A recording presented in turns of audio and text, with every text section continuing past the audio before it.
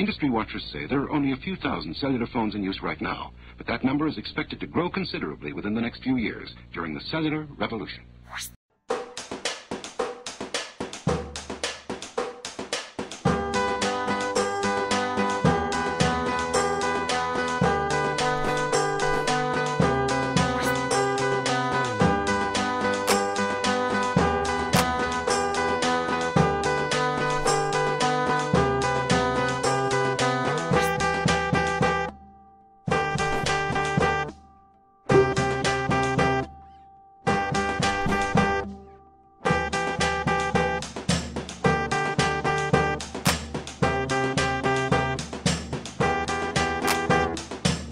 More people will take advantage of cellular as its benefits become apparent.